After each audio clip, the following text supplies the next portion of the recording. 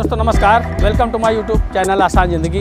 दोस्तों, आज हम आए हुए हैं शहीद पथ के लुलू माल पर, जो कि लुलू माल एशिया का सबसे बड़ा माल है और आप देख रहे हैं बिल्डिंग। ये लगभग लगभग बन के तैयार होने वाला है, जो कि आपको एक दो महीने में लखनऊ को समर्पित हो जाएगा। ये एशिया का सबसे बड़ा माल है और लखनऊ में जो भी माल है, उन सब माल में सबसे अच्छा माल ये होने वाला है।